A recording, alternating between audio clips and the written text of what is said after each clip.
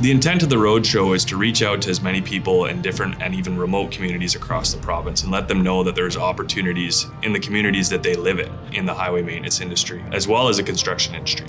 The Roadshow is going to engage thousands of British Columbians, and we're going to give them an opportunity to sit in a chair, drive a snowplow, drive a dozer, and really experience what it's like to work in our industry. And if they're interested, we've got job opportunities and education paths that we can put them down to get them started. The Roadshow is going to feature five simulators. We have a heavy equipment operations simulator and a snowplow simulator.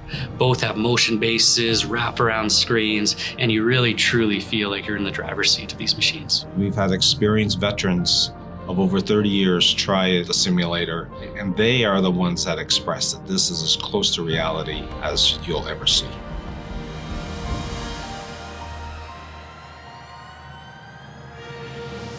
This new equipment that the Roadshow brings will allow job seekers and potential operators to test out equipment in a safe environment. And I think it's going to let people challenge themselves to try things that they wouldn't have otherwise.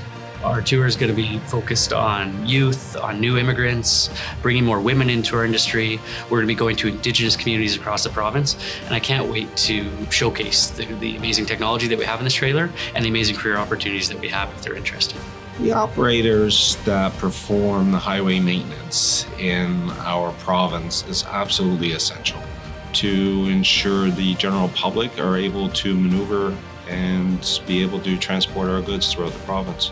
We have a vast network of bridge and highway infrastructure that needs to be maintained in order to keep our economy going, not just in BC, but in Canada. BC is a vast province with 47,000 highway kilometers, nearly 3,000 bridges.